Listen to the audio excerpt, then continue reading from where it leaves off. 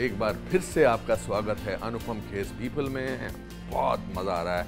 मुझे हमारे मेहमानों से बात करके देखिए कितना खूबसूरत लोग यहाँ पर काम कर रहे हैं। आज मैं रेस्टोरेंट में आप सोच रहे होंगे कि मैं रेस्टोरेंट में कैसे आ गया आज? तो आज मेरे मेहमान एक ऐसी शख्सियत है ना केवल वो बहुत अच्छा खाना बनाते हैं हालाँकि उनके बारे में ऐसा बोलना खाना बनाते हैं। Chef is the right word but he is a multi faceted person. He is writer a filmmaker, humanitarian, and most amazing uh, person, a very dear friend, most inspiring friend of mine. आइए देखते हैं क्या कर रहे हैं और कहाँ हैं। हम जा रहे हैं उस जगह पर जहाँ की खुशबू शायद आप तक ना पहुँचे लेकिन मुझे बहुत बर्बाद करने वाली है। न्यूयॉर्क से आया मेरा दोस्त दोस्त को सलाम करो। Sir how are you thank you very much ओहो मैं बता रहा था अपने देखने वालों को कि मैं एक ऐसी शख्सियत से मिलने जा रहा हूँ नो- ना केवल दोस्त है एक इंस्पिरेशनल पर्सन है फ़िल्म मेकर है और किचन में तो है ही है।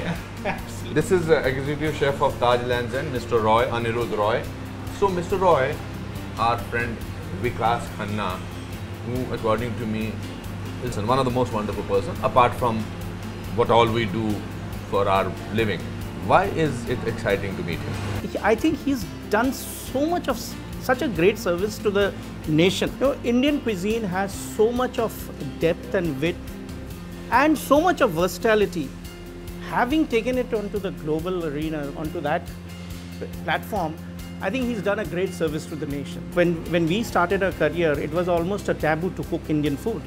Today, I feel proud to see the youngsters follow him and take pride in cooking Indian food. They wear their pride on their sleeves, and that is an huge achievement. इससे better introduction chef Roy मैं इनकी नहीं कर सकता था जो आपने की है so thank was you from the very heart. Much no this came from the heart I felt it और देखिए ये प्रॉब्लम क्या है ग्रेट आदमी की वो ऐसे शर्माता है जैसे आप शर्मा रहे हैं लोगों को ये बात का नहीं पता कि कॉन्टिनेंटल खाना मेरे लिए बनाना मुश्किल इसलिए था क्योंकि मेरे से बोला नहीं जाता था इंग्लिश वर्ड्स. कॉलेज में तो वही सिखाते थे तो मेरी सारी की सारी एनर्जी डाइवर्ट हो गई हमारे इंडियन खाने की तरफ़ I think it was a disability which became? I have a long, long conversation with you. I will take your leave, chef. Thank you Very, so very much. kind of you. What is the first dish you remember as in taste? घर का खाना वही दाल रोटी सर्दियों की गोभी और typical वही घर का खाना। बट अभी मैं अंदर खड़ा हूँ तो तंदूर की एक हीट होती है उसमें खुशबू होती है। विच इज़ वेरी इमोशनल जब बहुत जिद करके मैंने पापा को बोला मुझे तंदूर चाहिए। तो तीन सौ रुपये का नीले रंग का तंदूर पापा लेके आए। और वो बहुत बड़ी बात थी। मुझे लगता है तंदूर सौ रुपये का था। पापा ने डराने के लिए बोलते ना तीन सौ रुपये का है अच्छा। टूटना नहीं चाहिए। हाँ। And that became a very important thing because I wanted to prove him that he invested in the right thing. आपकी पहली मेमोरी फ़ूड की क्या है और किसके साथ है? Uh, दाल चावल। चावल कम होते थे बट हमारी रोटी होती थी हाँ बेसिकली हाँ हाँ। Dal roti was the first memory मुझे लगता है कि और एक और चीज़ मुझे बहुत पसंद थी वो खिचड़ी थी पता नहीं क्यों। आज भी मैं अलग अलग वेरिएशंस खिचड़ी पे बहुत फोकस रहता है। Because I think some people think it's just a humble cuisine of India which is the most supreme तो खिचड़ी की वेरिएशंस कंट्री में इतनी ज़्यादा हैं। आप अगर जाते हैं गुजरात में लग है कश्मीरी पंडितों की बिल्कुल लग है और हमारे पंजाबी लोगों की साउथ में बिल्कुल लग गया it gets different names but it is so similar कि one pot cooking of rice with everything which has protein carbohydrates flavours everything तो मैं आपसे हमेशा जानना चाहता हूँ कि अमृतसर का लड़का बहुत ज़्यादा पढ़ा लिखा नहीं और दुनिया में ओबामा के लिए बकिंगम पैलेस में क्वीन के लिए मोदी जी जब ओबामा के पास गए उन सबको अपने हाथ का अपने खाना खिलाया। ये कैसे हुआ? ये journey Anupam ji I really don't know how this happened ये बहुत ही सिंपल एक ऑनेस्ट आंसर है। मुझे लगता है it was one step at a time मेरे ग्रैंडफादर एक बहुत ही पेट्रियाटिक इंडियन थे who participated in so much of national movements, you know, non-cooperation movements. I grandmother was like during partition also हमारे घर पे इतने लोग खाना वगैरह सब कुछ। तो बॉजी ने एक बात मुझे बड़ी अच्छी बोली थी। मैं कभी नहीं बोलता। वो कहते थे गुलामी करनी है ना सिर्फ़ माँ की। अगर माँ बोलेगी नहीं तो नहीं। और किसी की गुलामी नहीं करनी। And thought that was something very important कि एक बच्चे के लिए सेल्फ बिलीफ जिसकी मेन स्ट्रगल ही शुरू हुई जब वो अमेरिका पहुँचा 2000 में। तो वो मेरे लिए बहुत बात दिमाग में रही थी कि अगर मुझे करना है किसी की बात माननी है कुछ करना है तो I have to listen to my mother sometimes in my heart so tell me give me a visual of your life of early years because आपने दादाजी के बारे में बोला दादी जी के बारे में बोला you're a filmmaker also or people are making films on you. Describe to me your early childhood atmosphere. Amritsar में? हाँ.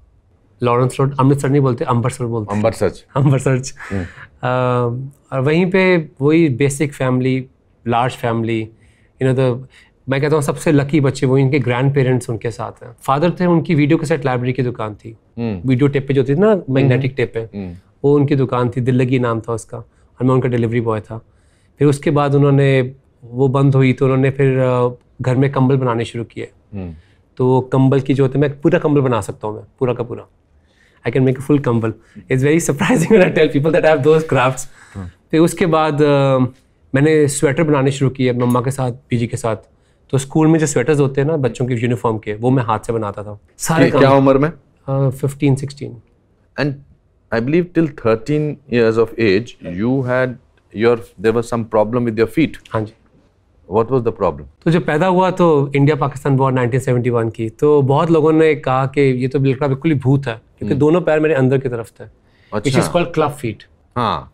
बहुत एक सिंपल सी सर्जरी होती है प्रोसीजर होता है ठीक हो जाते हैं बच्चे पर उस टाइम पे नहीं इतनी अवेयरनेस थी इतनी चीज़ों की नहीं समझ थी मम्मा दिल्ली लेके गए I think I was only few days old जब पहली सर्जरी हुई पैरों की तो सबने कहा भाग नहीं सके कभी कभी भाग नहीं सकता तो मम्मा यूज़ टू से कि भागने के लिए पैदा नहीं हुआ वो तो वो तो उड़ने के लिए पैदा हुआ है how wonderful So she was my more belief than myself. You know, फिर स्कूल में बच्चे सब कुछ. Know, it's a different when you're different. lo- Anything in different differently abled abled. तो फिर बच्चे आपको स्कूल में भी डिफरेंट ट्रीट होता है हर चीज़ डिफरेंट है। So let me describe it that your feet was inside and you could not obviously walk और रन फास्टर एंड स्कूल में बाकी बच्चे नेचुरली कुछ इस तरह की उनके हिसाब से जो डिफॉर्मिटी होती है मज़ाक उड़ाते हैं। बिल्कुल। लोग लंगड़ा बोलते हैं पोलियो। बोलते हैं हाँ, पोलियो वाला बोलते हैं भूत बोलते हैं भूत के बरंदा hmm. तो तो you obviously as a child will go through humiliation sadness why am I different so don't ru- don't run away from those emotions it's anupam kher's people don't be brave i want to know how did that child cope up with all this I think एक India में ना एक हमारा जो centre force है country का gravity है वो family correct that gravity holds you so tightly to itself हाँ बच्चे में प्रॉब्लम है पता है हमको पर वो ट्राई कर रहा है यू सी कि कंपनी भाग जाके भागने की कोशिश कर रहा है, पर जूते बहुत भारी होते थे। पता नहीं तीन तीन चार चार किलो का जूता होता था, लकड़ी का जूता होता था। They used to put you braces के साथ बाँध के। तो उससे क्या होता था कि आप भाग भी नहीं सकते। बट आई थिंक मेरे से ज़्यादा और मेरे दांत भी बिल्कुल ना वो उसकी तरह थे रैबिट की तरह।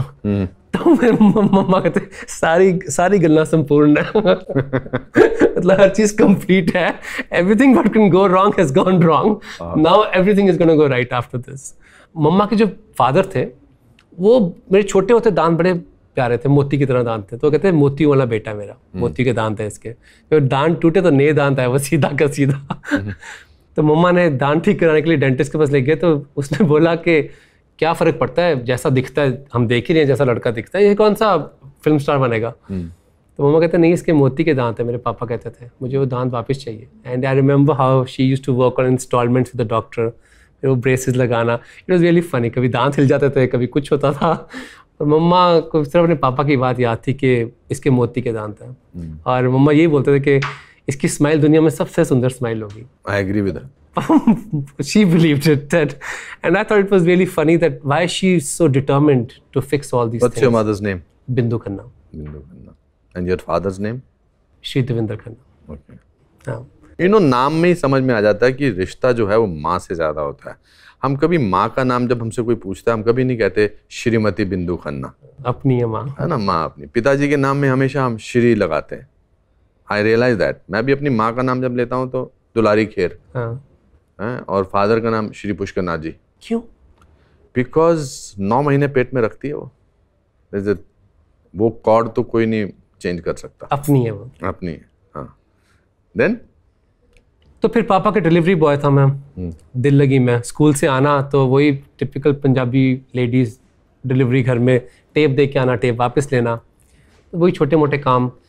तो घर के पीछे हमारा छोटा सा ब्यूटी पार्लर था। बहुत छोटा सा। उसका नाम था लॉरेंस ब्यूटी पार्लर तो जो लेडी रन करती थी शी वॉज़ लिविंग तो मैंने घर पे बहुत एंटरप्राइजिंग था बहुत ज़्यादा शुरू से। कि कोई क्लब्स में खाना भी बनाने चले जाना ग्लासेस सप्लाई करने चम्मच सप्लाई करने मतलब वो सब कुछ आता था मेरे को। छोटे से तंदूर लगा लेता सब कुछ कर लेता था। खाने का बहुत रुझाव था। तो मैंने कहा यहाँ पे बिज़नेस खोलते हैं। And you are 16 15 16 years old तो सारे कहते बिज़नेस हाथ जुड़वा लो। मैं कहा नहीं किट्टी पार्टियाँ करते हैं घर के पीछे। भटूरे आते हैं बनाने पनीर पकौड़ा आता है कुलचे आते हैं लगाने मेरे को।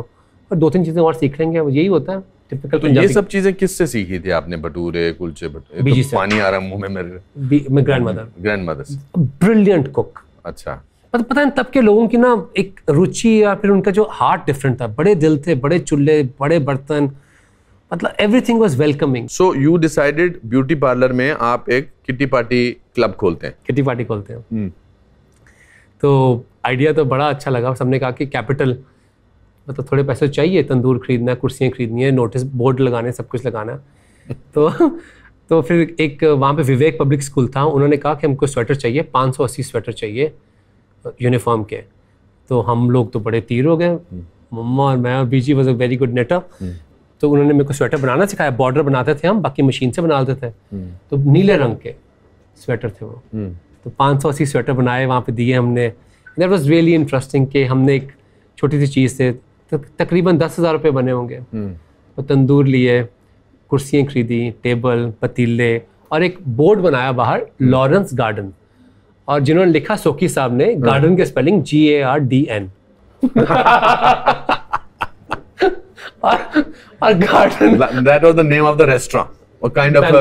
Banquet. we specialize in kitty parties. All spelling wrong. but that is typically Small तो- town, फिर किटी पार्टी खोली और किचन जो था वो कवर्ड नहीं था। उसकी छत के लिए बजट नहीं था। तो जब बारिश होनी मुझे एक बात कभी नहीं भूलती। जब बारिश होती थी रात को अगर कोई पार्टी चल रही है किटी पार्टी चल रही है तो मैं तंदूर तो लगा देता था मम्मा छाता लेके खड़े होते साथ में। और एक दिन मैंने देखा मम्मा नहीं है छाता लेके तो मैंने जाके देखा ऊपर छोटा सा जनरेटर हमने लिया था नीले रंग का। तो मम्मा ऊपर छत पे जनरेटर में ना ट्रिप होता था लाइट तो मम्मा उसको ऑन करते थे। तो मैं मैंने कहा मम्मा कहाँ है? मतलब जब रोटी में लगा रहा हूँ क्योंकि ना क्या होता था तंदूर में जब जाती है ना बारिश तो उससे स्टीम जो होती है मुँह जला देती है पूरा। तो वेरी डिफ़िकल्ट छोटा तंदूर था इतना बड़ा नहीं था। तो मैं टेरेस पे भागा देखने के लिए ऊपर छत पे मम्मा जनरेटर तो नहीं खराब हो गया बंद हो रहा है ऑन हो रहा है। तो हम जनरेटर को देख रहे हैं वहाँ पे तो मैं छत पे गया तो मूसलाधार बारिश हो रही है और मम्मा अकेले खड़े हैं वहाँ बारिश में। कोई छाता नहीं कुछ नहीं कि जब लाइट ऑफ़ होती है ट्रिप होता है जनरेटर वो स्विच ऑन कर देते थे अब वो मेरे लिए विजुअल लाइफ का मेरे को लगता है सबसे स्ट्रांग विजुअल है बिकॉज़ आई फील कि जब भी लाइट कम होगी लाइफ में तो शील फाइंड द स्विच फिर ऑन करने के लिए। एंड छोटा सा बैंकुट था फिर मेरे चाचा जी थे वो बहुत पढ़े लिखे थे। बाबू चाचा वो दिल्ली से आए उन्होंने कहा ये क्या कर रहा है लड़का? मतलब ये किटियाँ बाड़ियाँ करता है और पैसे भी नहीं लेता लेडीज़ से। लेडीज़ जो कहते हैं, खाना बड़ा अच्छा है। मैं कहता हूँ आंटी फ्री में ले लो। और फिर यू नो पंजाबी आप अभी तक ऐसा करते हैं। मैं आपके न्यूयॉर्क के रेस्टोरेंट जुनून में आया था बिग सिक की पूरी कास्ट को लेके। ऑफ़ कोर्स आपने मुझे इतना अच्छा खाना खिलाया और मैंने जब आपसे कहा कि बिल तो आपने कहा बेजती कर रहे हो? सो so, वो प्रथा आपने बरकरार रखी है फ्रॉम 16 साल से। इज़ इन तो anyway not to again um, uh, make you feel awkward about generosity of my praise for you आप अपने चाचा जी के साथ दिल्ली गए। दिल्ली गया मैं। मौर्य दिल्ली में मौर्य शेरेटन में गए। पहली बार होटल देखा लाइफ में। फाइव स्टार होटल पहली बार देखा। हाँ। अच्छा। और वहाँ पे बुफे लगता था रात का। तो उन्होंने कहा विकास विकास तो किसको मेरा नाम ही नहीं पता विक्कू ही बोलते थे। हम्म, विक्कू ए होता है खाना मतलब खाना इसे बोलते हैं। और तो कहाँ वही छोले आंटियों के बना के और भटूरे और पैक करके भाग रहा होता है। But he saw my dedication was so strong कहते ए देख अब मैंने खाना देखा मैं कि खाना थोड़ी है ये हमने कभी केक ही नहीं देखा। हमने समझा सिर्फ़ पाइनएप्पल केक होता था एक। राइट पास एक ही केक होता था चेरी लगा के ऊपर। और खाना देखा pastry dishes continental pasta noodles I am talking about in this is 1990 hmm. तब ना इंटरनेट था ना कुछ था हमारे पास मतलब इंडिया बिल्कुल डिफरेंट था तब। हम्म, और मैं वहाँ पे ही रोना शुरू हो गया। मैंने कहा ये मैंने इतना सुंदर खाना नहीं देखा। तो कहते कि मतलब इतना सुंदर खाना नहीं देखा। नहीं देखा। हाँ। मैंने हम तो वही इतने बड़े बड़े पतीलों में छोले बनाने और पनीर बनाना और वही। नहीं यूजुअली लोग कहते हैं कि मैंने रोते हैं कि मैंने इतना सुंदर खाना नहीं खाया। हाँ। आपने बोला देखा। मैंने खाया नहीं वहाँ पे खाना। अच्छा। खाया नहीं। कि मुझे लगा कि इतनी तरह के खाने होते हैं। हम्म। हम तो क्या होता था गोभी है सस्ती है तो गोभी जाके लेके आओ और उसको सुई में परो के हार बना दो और सुखा दो ताकि गर्मियों में सस्ती गोभी मिल जाएगी। तो थो- थोड़ी स्प्रिंग में सस्ती गोभी बैंकट हॉल में आलू गोभी बना दूँगा। हम्म। I was stuck on only those things मुझे मैं कभी नहीं बोला क्लेम किया कि हाँ तंदूर मेरा बहुत हाथ साफ़ था क्योंकि बचपन से तंदूर लगाता था। बेसिक वही आता था। फिर जब वहाँ देखा खाना तो मैं बहुत ज़्यादा मेरी लाइफ का एक अवेकनिंग होती है। अवेकनिंग होगी मेरी। कि यार ये खाना सीखना है।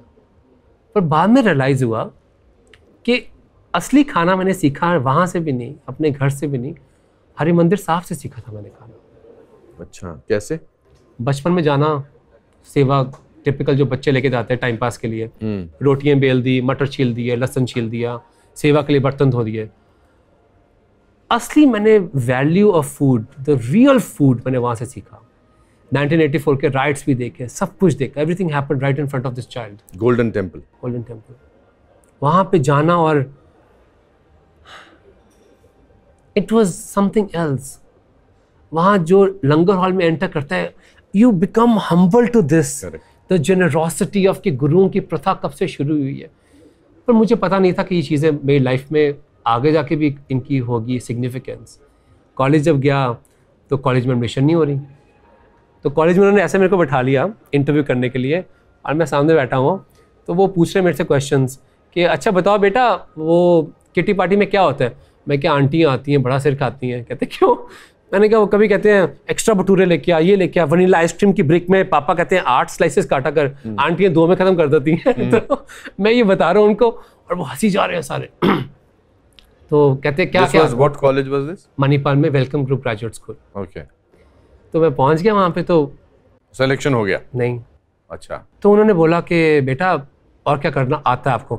मैं क्या मेरे को तीन तरह के छोले आते हैं एक पिंडी छोले आते हैं एक किचड़ छोले आते हैं और मुझे एक रेगुलर घर वाले छोले आते हैं जो बिना हम प्याज के बनाते हैं। तो कहते और? मैं कहा मैं पनीर पकौड़ा आता है। तो मैंने क्या किया मैं बता मैं सारी अपनी बातें बता रहा हूँ। हम्म। कि I am being honest the way जैसे होता है ना राजपुर की मूवीज़ में गाँव से आता है तो everything is so pure about what you're saying but I never forgot the communication क्योंकि थोड़ी देर बाद मुझे रियलाइज़ हुआ कोई गड़बड़ है। कहते कितने पैसे कमाते हो? मैं क्या आंटियों के होते बीस रुपये होते हैं पर हेड पर आंटियाँ दस हज़ार देती नहीं है। वो बाद में बार्गन करती हैं डराती हैं मेरे को कि आगे से नहीं आएँगे। तो फिर उन्होंने मैं क्या मेरा सिलेक्शन हो गया। कहते नहीं बेटा अगले साल आना थोड़े और भटूरे तल लो। अच्छा। कहते थोड़े और भटूरों की प्रैक्टिस कर लो फिर अगले साल आना। फिर किसी ने कहा डोंट बी डिसहार्टन ये इंग्लिश कॉलेज है। यहाँ पे इंग्लिश की होती है। मेन दिल्ली बॉम्बे के बच्चे आते हैं। इंग्लिश ही होता है यहाँ पे। और आपको मैंने देखा एक सेंटेंस भी नहीं बोला आपने इंग्लिश का। मैंने कहा भाई खाना बनाना है तो इसमें इंग्लिश क्या बोलनी? हम्म। मैं अभी तो जस्टिफाई कर रहा हूँ कि ले लो मेरे को। मैंने कहा मैं नहीं जा सकता घर। कहते क्यों? मैं क्या मैं लड़के आया हूँ घर से कि मैं तो जा रहा हूँ फाइव स्टार होटल खोलने अब। मैं पढ़ पढ़ूँगा मैं तो फाइव स्टार होटल खोलूँगा। And I went outside the college मैं जाने से पहले उनको बोला मैं क्या पता है एक बात? कहते क्या मैं क्या मैं इतना स्मार्ट नहीं हूँ पर मुझे लग रहा था कहीं ना कहीं आप मेरा मज़ाक उड़ा रहे हो। अच्छा। कि कहीं ना कहीं आप कि मेरी छोटी सी बैकग्राउंड थी छोटा सा मेरा बैंकुट था मेरा अपना था मैंने अपने हाथों से बनाया था। पर मैं अपना five star hotel air condition तो खोल के दिखाऊँगा। अब हमारे लिए फाइव स्टार होटल का मतलब होता है रेस्टोरेंट हम्म रेस्टोरेंट का होटल बोलते हैं। हम्म। मैं क्या होटल तो मैं खोल के दिखाऊँगा वो भी एसी हम्म। क्योंकि फ्लोरेंस गार्डन एसी नहीं था। और पापा कहते थे ए सी ना लो आओ। बिजली का बड़ा बिल आएगा। हम्म। पैसे तो बढ़ते नहीं किटी पार्टी के वही मिलते हैं। मैंने कहा एसी तो मैं बाहर जाके बैठ गया वहाँ पे एक सूरज टाइप जगह है तो वहाँ पे थोड़ी देर बाद मिस्टर सुंदरेश प्रसाद वहाँ के प्रिंसिपल थे वो आए। कहते बेटा क्या कर रहे हो यहाँ पे? मैं क्या आपने मना कर दिया मैं अब तो घर से मैं लड़के आया हूँ सोच रहा हूँ मैं घर कैसे जाऊँ। और ट्रेन का रास्ता भी डेढ़ दिन का होता था। मैं क्या मैं डर रहा हूँ घर जाके कि मैं बहुत लड़के आया हूँ उनके साथ। तो कहते क्यों? कहते होटल नहीं खोलना? मैं क्या खोलना है? मुझे लगता है मुझे और कुछ सीखना पड़ेगा। इंग्लिश वगैरह सीख के आऊँगा अगली बार। हम्म। कहते नहीं बेटा कॉलेज में जाओ। कहते मैं आपको सब कुछ सिखा सकता हूँ। मैं आपको ये ऑनेस्टी नहीं सिखा सकता कहता बाकी बच्चे आ रहे हैं सब बोल रहे हैं मेरे father has a hotel we have budgets he is a hedge fund guy वो वॉल स्ट्रीट पे काम करते हैं मेरे फादर एक ही स्टूडेंट आया जिसको चार पाँच चीज़ें आती हैं पर उसमें इतनी प्राइड है। करेक्ट कहता है वो मैं कहाँ से सिखाऊँगा? hmm. तो मैंने कहा क्या हुआ? मुझे तो समझ नहीं आ रहा कि मैं सिलेक्टेड हूँ कि नहीं सिलेक्टेड hmm. कहते बेटा कॉलेज में जाओ फॉर्म भरो और इंग्लिश सीखो। hmm. और आई लर्न देयर कितने साल का कोर्स किया आपने? थ्री इयर्स कोर्स तीन साल का। क्या सिखाते हैं ये इस- तरह के कॉलेज में? When they say that we are doing I am मैं बिल्कुल अनभिज्ञ हूँ देहाती हूँ इस मामले में। वो टीच करते हैं पहले तो फ्रेंच सिखाते हैं। मैंने कहा यार एक तो इंग्लिश नहीं आती ऊपर से फ्रेंच सिखाने बैठ गए। तो मैंने कहा कोई पर्चे मिलते हैं? मैं तो अमृतसर की आदत थी मेरे को पर्चे मिलते हैं लिखने के लिए? कहते नहीं यहाँ पर्चे पुर्चे कुछ नहीं मिलते सब कुछ याद करना पड़ता है। और मैं तो भागू मैं कह ये फ्रेंच कहाँ से आ गई मुझे पता होता फ्रेंच मैं कभी कॉलेज में ना आता। फ्रेंच सिखाते हैं आपको बिकॉज़ लॉट ऑफ़ कलनरी के जो वर्ड्स हैं किचन के वो फ्रेंच होते हैं। क्योंकि French discipline this whole organisation of cooking in so many ways तो मैंने कहा ठीक है फ्रेंच सीखते हैं। सीखी आपने नहीं बहुत ही गंदी। चीटिंग चूटिंग वही नकले हैं। हाँ पर्चियाँ? वही हाँ पर्चियाँ लेके आंसर लिख के ले गया। इतना बड़ा डफर था और पता नहीं कौन से क्वेश्चन का आंसर कौन सा वाला था। मतलब एग्जामिनर पे छोड़ दिया कि मैच कर लेना। तो फिर मैंने one but I passed I passed somehow but my my professor Tharakan एक बार उन्होंने मेरे को डांटा एक बात का कहता जाओ कोकोनट स्क्रैप करो। और हमें तो कोकोनट कभी होता ही नहीं। हमें तो कोकोनट का मतलब है कि घर में नया स्कूटर आया। हाँ। तो कोकोनट घर में आए कि कोकोनट तोड़ेंगे तो प्रसाद और प्रसाद निकालने में घर वालों को प्रॉब्लम होती थी कि कोकोनट को निकालना कैसे है। तो वो मेरे से गुस्से होकर प्रोफेसर ताराकन उन्होंने कहा I want you to scrape this coconut अब मुझे क्या पता क्या बोला मुझे स्क्रेप कोकोनट तो उन्होंने जो लड़की वहाँ पे करी थी एक हेल्पर तो उससे बताया ऐसे करके करते हैं। और मुझे लगा पूरा का पूरा वहाँ पे होंगे दो सौ ढाई सौ कोकोनट अनुपम जी मैं पूरी रात लगा रहा मैंने सारे कोकोनट स्क्रेप कर दिया ओके उन्होंने तो फिर से दस बोला था। और आपने सारे कर दिए। ढाई सौ तीन सौ होंगे सारे कोकोनट स्क्रैप करके पतीलों में भर के प्लास्टिकों के वहाँ बाल्टियाँ थी उनमें भर के मैंने रख दिया। तो मैं कहा मेरे को उन्होंने तो प्रोफेसर आए सुबह कहते क्या हुआ ये? मैं क्या मैं घर नहीं वो वापस हॉस्टल नहीं गया आपने कहा कर दे। कहते बेटा मैं आगे से आपको ना थोड़ा सोच के इंस्ट्रक्शंस दूँगा। मुझे नहीं पता ये पागल कहाँ से एडमिशन दे दिया इन्होंने। They teach you cooking front office management housekeeping so you should know all the aspects of running hotel और अ रेस्टोरेंट वो किया। उसके दौरान मैंने दिल्ली ताज कॉन्टिनेंटल में काम किया आगरा में मुगल शेरटन में काम किया। काठमांडू में मैंने काम Which year was Mughal Sheraton roughly? किया ninety two. Because my first experience of a five star hotel was in Mughal Sheraton. Agra में। आगरा में। पहली बार मैं मुगल शेरेटन में वहाँ रहा था तो मैं रूम सर्विस में फ़ोन किया था। हाँ। एक बारी there was a film with Peter O'Toole किम तो मैं उसमें एक एक्स्ट्रा का रोल कर रहा था मगर मुझे उन्होंने कहा था कि आपको हम फाइव स्टार में ठहरा सकते हैं। कुछ ऐसी बात थी कि मैं एन का था। तो जब रूम सर्विस वाली ने फ़ोन उठाया मैडम ने तो उसने कहा गुड मॉर्निंग मिस्टर खेर इसको कैसे पता लगा मेरा नाम मिस्टर खेर है? दिख रहा है। तो मैंने कहा इसको मतलब पता लग गया कि मैं कुछ बनने वाला हूँ। तो उसने कहा what are you want to order तो मैं मेन्यू पढ़ रहा था उसमें मैं जो डोसा मंगाना था तो अंग्रेज़ी में घबराहट में मेरे से निकल गया can I have one soda please और मेरी हिम्मत नहीं हुई कि उसको करेक्ट कर दूँ। फिर वो सोडा लेके आई मैं बैठा रहा चुपचाप। सो मुगल शेरेटन का कनेक्शन मेरा आपके साथ ये 1983 मेरा सबसे बड़ा कनेक्शन होटल इंडस्ट्री में था from across the street from Taj land एक होटल था यहाँ पे सीरॉक सी रॉक यस 92 में मुझे मौका मिला यहाँ पे काम करने का रूम सर्विस में ड्यूरिंग द राइट्स ओह मैं आया बॉम्बे फ़र्स्ट नवंबर को होटल में ज्वाइन किया राइट्स शुरू। राइट शुरू हुए।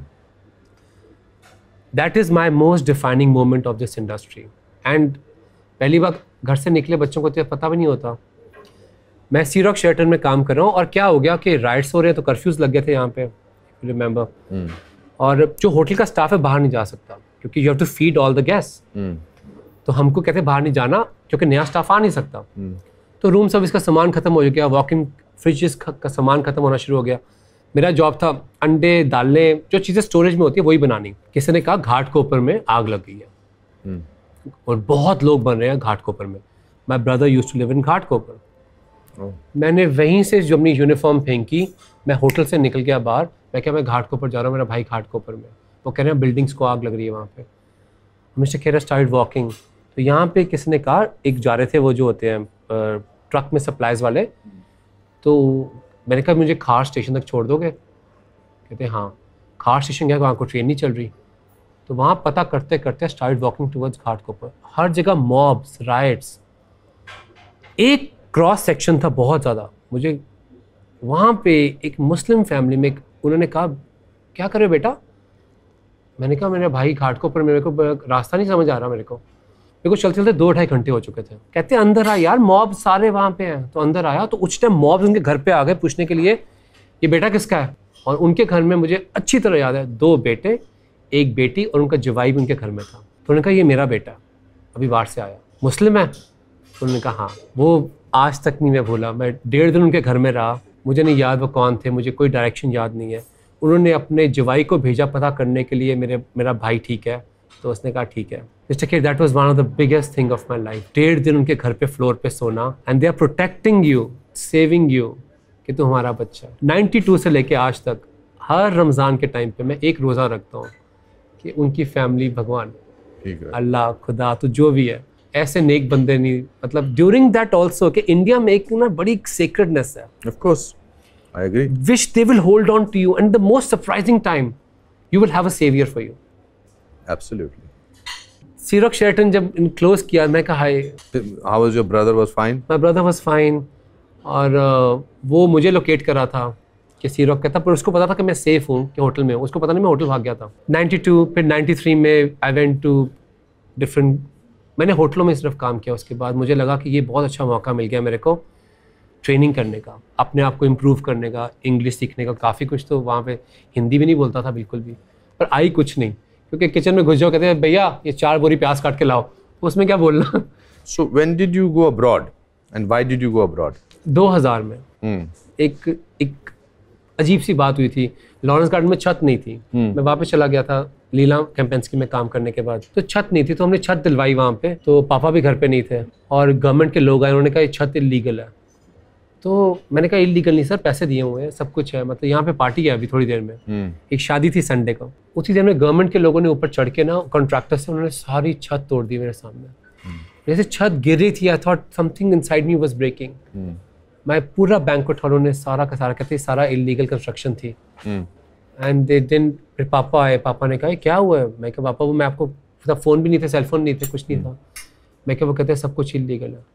कहते बेटा बुला था मेरे को मैं पापा मेरे को पता नहीं कोई फैमिली की शादी थी. That broke my heart somewhere that somehow it broke my heart and मेरे भाई ने मुझे किताब दी थी Jonathan Livingston Seagull Richard Bach की बुक तो हम सबने पढ़ी है हम सबने पढ़ी है।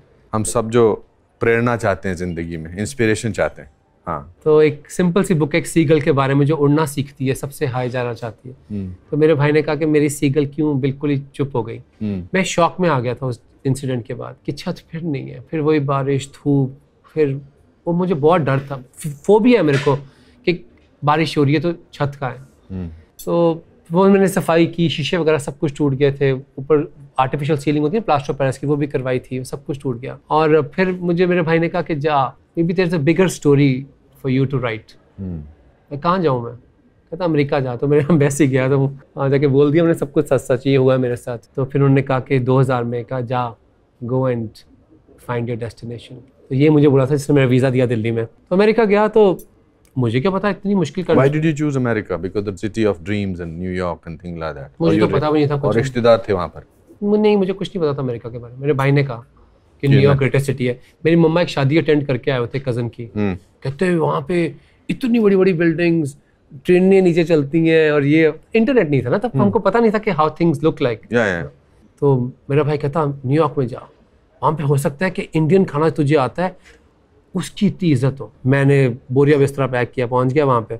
वहाँ पे अच्छा गोरों की प्रॉब्लम अलग होती है हमसे। हम्म।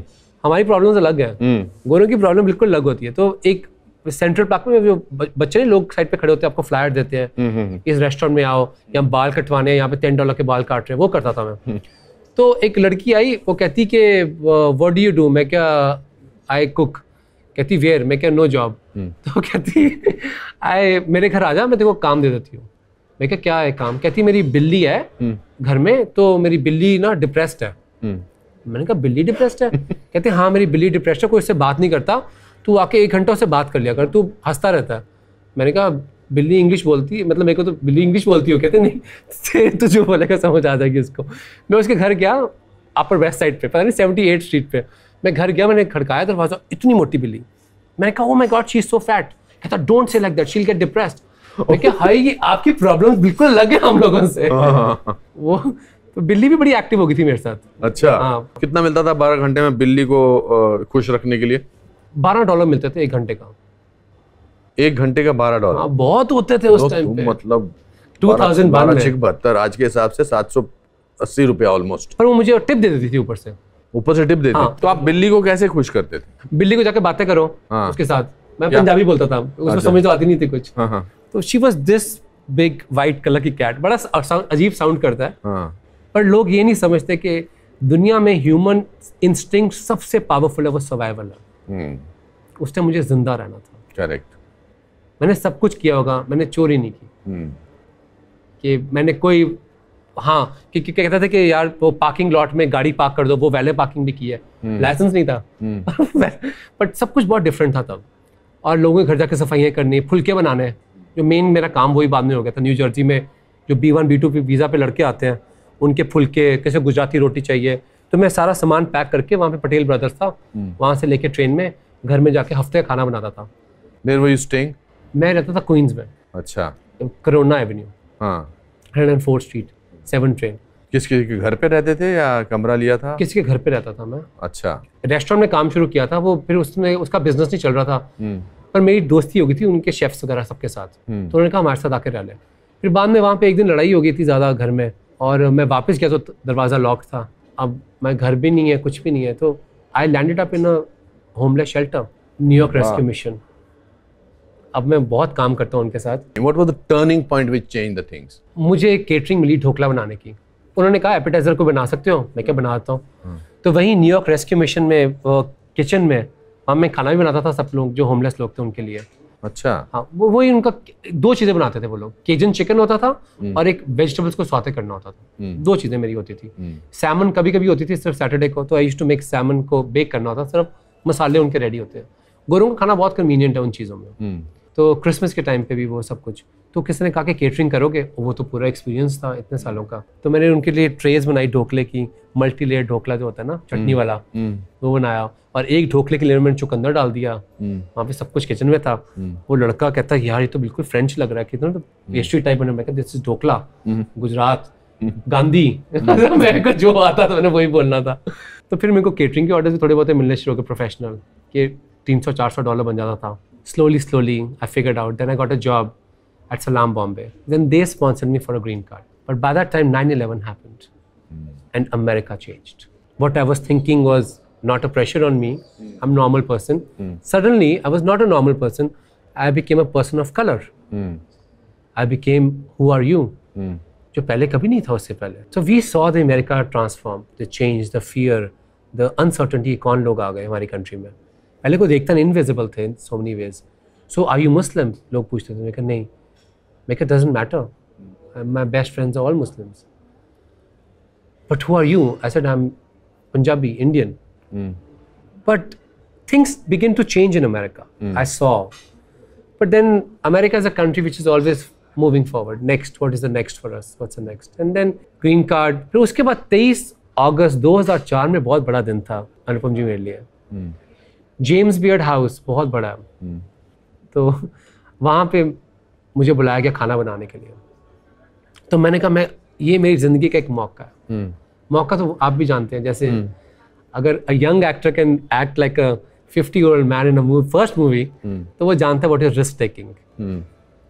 तो मैंने कहा एक्सेप्टेड वहाँ खाना बनाएँगे। कहते हैं, दाल रोटी नहीं बना सकते जो आप बनाते हो चिकन वगैरह बेसिक हम्म। तब तक मैंने ना बहुत एक्सपीरियंस हो गया था। दूसरे अमेरिकन रेस्टोरेंट्स हैं Chanterelle David Waltuck four stars New York Times उसके साथ काम किया हुआ था मैंने। अपने ऑफ़ डे कोई नहीं पूरा दिन कहीं ना कहीं काम करना। हेनरी मीर का एक रेस्टोरेंट सिटी हॉल उनके साथ काम किया हुआ था। तो मुझे आइडिया हो गया था कि एक डायरेक्शन मुझे लेनी है तो मुझे इंडियन खाने को एक एक नया रूप में देके वहाँ पे जेम्स बॉन्ड प्रेजेंट करना। हम्म मैंने खाना बनाया तो मुझे ऊपर कहते हैं ऊपर आओ। मैं क्या मेरे को? जनरली एक शेफ की औकात मतलब तब मुझे लगता था दो ही चीज़ें होती हैं कोई पूछता था अरे ये खाना कैसे बनाया तूने? हम्म। किसने सिखाया तेरे को? और दूसरा अगर आप रेस्टोरेंट में खड़े कहते हैं भैया बाथरूम किधर है? हाँ। और तो मुझे कभी किसी ने बात ही नहीं की थी। मैं ऊपर गया मैं क्या हो गया कहते ऊपर बुला रहे हैं आपको। गो गो गो मैं क्या व्हाट हैपन कहते व्हाट हैपन नहीं ऊपर जाओ। सारे जर्नलिस्ट सारे लोग खड़े हैं आपके लिए.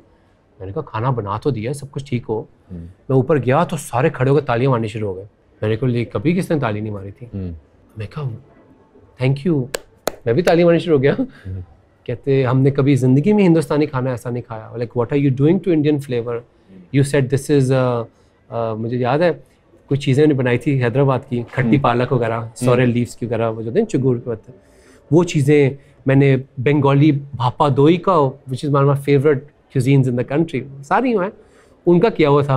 और मैंने जो आपकी रॉथ रोटी होती है मैं गलत प्रोनाउंस कर रहा हूँ तो वो छोटी बनाई हुई थी साथ में सर्व करने के लिए। अच्छा। तो मैंने कहा this is all India I didn't do any ये तो वहाँ का था। मैंने सिर्फ़ थोड़ी सी फॉर्म चेंज की है पर उस दिन रात को मुझे कुछ लगा हार्ट में ऑफ़ बीइंग अप्रिशिएटेड कि मेरी कंट्री का सलाम किया है किसी ने। उस दिन सर्वाइवल अपना नहीं था। उस दिन हो गया एक प्राइड की बात। मैंने अपनी नौकरी छोड़ दी अगले दिन। अच्छा। हाँ मैंने कहा अब तो पता लग गया है। अब तो इंडिया का झंडा पकड़ना। पे चेक नहीं पकड़ना। सबके साथ होता है अरे of course and then I start मैं किताबें लिखूँगा ये करूँगा वो करूँगा। फिर बाकी सब कुछ स्टेप बाय स्टेप अगर कोई शेफ देख रहा है वो समझ सकता है कि this was not a profession which had any glamour back of the house तो एक यूनिवर्सिटी में रिसर्च करा था। जैसे हम कहते हैं गांधी जी का 1893 मोमेंट था जो कंडक्टर ने उनको गाड़ी से उतारा। साउथ अफ्रीका में। तो मेरा मोमेंट ऐसा ही था कि मैं बैठा हुआ एक लाइब्रेरी में और मैं होली किचन स्क्रिप्ट लिख रहा हूँ। होली किचन होली किचन बाद में डॉक्यूमेंट्री सीरीज़ बनी 2010 में। ऑफ़ कोर्स जिसको हार्वर्ड प्रिंसटन और वाइट हाउस हर जगह पे इतना ऑनर मिला। बाद में इतने अवार्ड्स मिले। बाद दैट हैपन मच लेटर 2004 में बैठा हुआ वहाँ पे मैं और मैं लिख रहा हूँ कॉन्सेप्ट ऑफ़ लंगर कहाँ से शुरू हुआ? Hmm. पता ही नहीं किसी को हमको कि कहाँ से प्रथा शुरू हुई सच्चा सौदा नो गुरु नानक देव जी का। उसके बाद गुरु रामदास जी ने पूरी शेप दी यू नो हमने एवरीथिंग वाज इंस्टीट्यूशनलाइज के जहाँ पे गुरुद्वारा असली सेवा है कि भूखा कोई ना जाए। बिना कोई जात पात रिलीजन क्या है डिस्क्रिमिनेशन कोई नहीं है। खाना करो सेवा करो।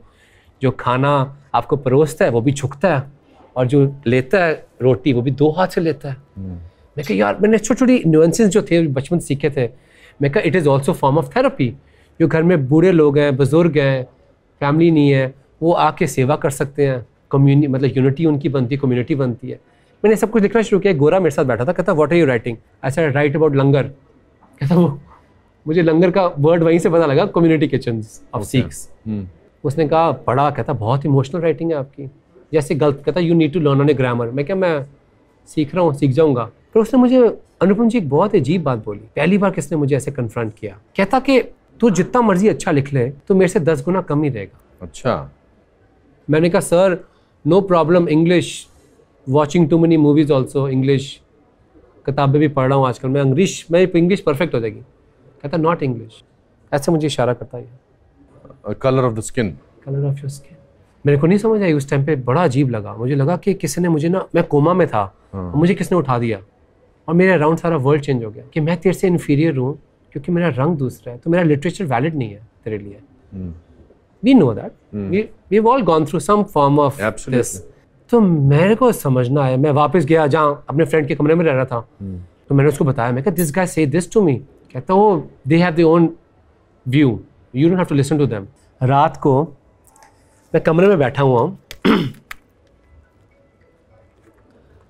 और ये मैंने खोला। आपके पेरेंट्स और आप?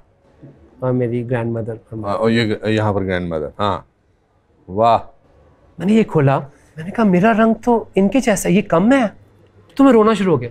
एक एक आई फेल्ट कि मेरा कंडक्टर है वो आदमी जिसने मुझे ट्रेन से फेंका अभी।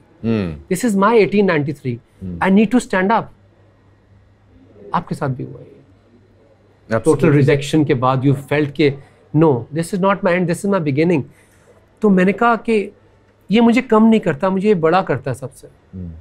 इनके रंग को बोला किसी ने। मुझे बोला, ठीक है। मुझे इतना, बचपन से इतना कुछ सुनता आया था, मुझे नहीं फ़र्क पड़ता। तो मैंने कहा, बाकी तो सब कुछ मैं ओवरकम कर सकता था, भागना भी सीख सकता था, खाना बनाना भी सीख सकता था इंग्लिश भी सीख सकता हूँ। बट ये ये तो मेरी हेरिटेज है। मैं एक, सुबह की मेरी बस थी न्यूयॉर्क की, जो सस्ती वाली, वो चाइना टाउन वाली बस होती है। मैंने बस मिस कर दी। मैंने दोपहर को की मैं कहा, मैं पहले इसको मिलूँगा। मैं लाइब्रेरी के बाहर खड़ा रहा सुबह, खड़ा रहा खड़ा रहा। वो आया बंदा, मैं क्या, सर वन मिनट कहते वर्ड मैं क्या I don't want to be equal कहते excuse me I don't want to be equal to you I want to be better than you I will become eleven times better than okay उसका वो होगा कि भैया तो है कौन? But उसको नहीं पता कि उसने मुझे ज़िंदा कर दिया फॉर ए मोमेंट उस दिन अनुपम जी मैंने उत्सव लिखनी शुरू की। मैंने कहा अब मैं जो करूँगा ना वो ग्यारह गुना बेटर होगा तेरे से। कि तू सोचेगा भी तेरे को समझ नहीं आएगा कि ये गवार बंदा जिसको तूने कहा है ये पहुँचा कैसे? क्या कर सकता तेरा? मैंने कहा मेरा ऑनर नहीं। तो उन्हें डिसऑनर किया है जिन्होंने मुझे जन्म दिया। हम्म। This is too much for me उस टाइम नहीं। कोई मेरे को लगता है कोई भगवान का तरीका होता है आपको मैसेज देने का। ये मेरा साइन था कि उठ जा कि अब तेरे को खड़े होना पड़ेगा। Not just for yourself और योर फैमिली और योर सिटी और your country you have to stand as a human